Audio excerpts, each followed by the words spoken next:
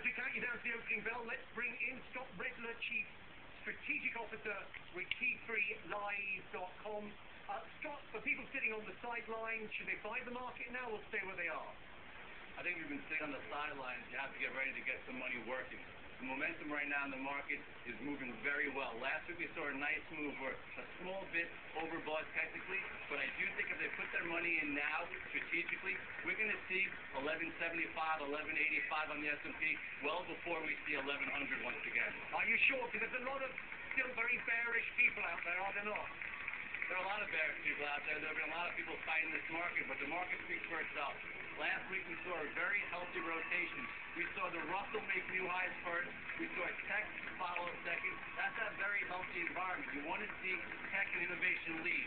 We should see the S&P and the Dow follow within the next week or so. Okay, Scott, we'll see. Thank you very much for that. Have a good trading day. I don't know like our new uh, little countdown. Very clear.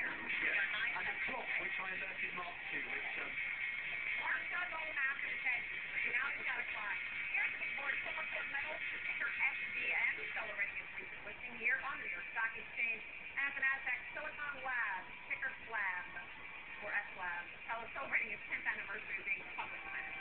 Okay, let's bring in the team then, standing by the New York Stock Exchange, the NASDAQ, the NYMEX, and the CME. We kick off as ever with Bob Pisani on the floor. Bob.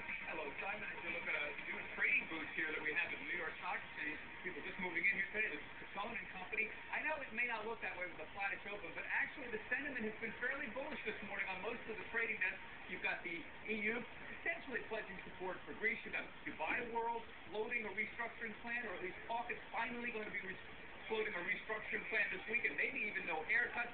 Even Portugal is unveiling an austerity plan to try to get ahead of the talk that after Greece is resolved, will next be Portugal. They're finally getting smart about this, and so the sentiment is definitely a little bit improved here. The S&P 500, 68% above its March 9th low, and yes, the anniversary is tomorrow. We'll be showing you the numbers all throughout the day on that. The CBOE volatility index is at a new low right now for the year, last 52 weeks, in fact, almost a year last time we were near this low was the middle of January. That's when the market hit its top. So keep an eye on that one. Not a lot of big stock news today. McDonald's did have the same numbers they've been having for the last several months.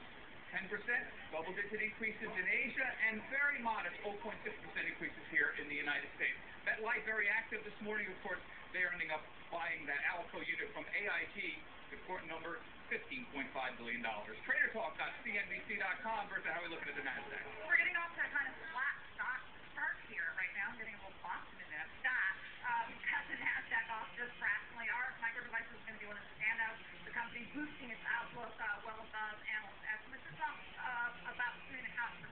Meantime, you've got Applied Materials. Uh, hopefully today will be one of the support initiative areas. The equipment company says it's boosting its dividend by a penny to 70 cents. It's also initiating a $2 billion stock buyback. It's got fractionally at the motion is up over at BMO Capital. That's good for 1.5%. Uh, we say don't think that uh, the BlackBerry is getting as much market share loss as they anticipated. Yahoo also getting an upgrade as well